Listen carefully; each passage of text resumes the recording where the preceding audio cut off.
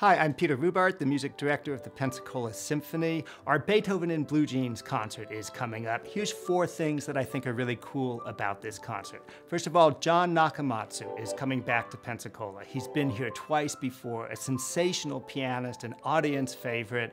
Always a pleasure to have him back in town. He'll be playing Beethoven's fourth piano concerto, a real musician's concerto if there ever was one, one of Beethoven's most far-reaching and sublime pieces. Second thing, Rossini, William Tell Overture. You may not know it by name, but I promise you know it. It's always a fun piece to play because I advertise it as being so well known and popular, and a lot of times audience members look at each other and go like, I don't think I recognize this.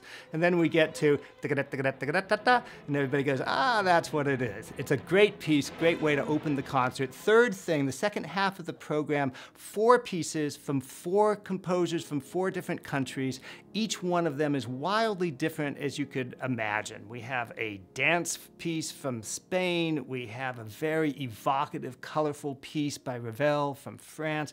We have a British piece by Delius, very reserved and elegant in its character. And finally, a downright raucous and rocking piece called Mothership by a young American composer named Mason Bates, who combines the orchestra with what he calls electronica. Sounds like you've never heard before on the stage of the Saenger Theater. And finally, fourth thing, it's blue jeans. We're wearing blue jeans, I'm wearing blue jeans, the audience is wearing blue jeans if you want to. It's a great fun night. Come on down.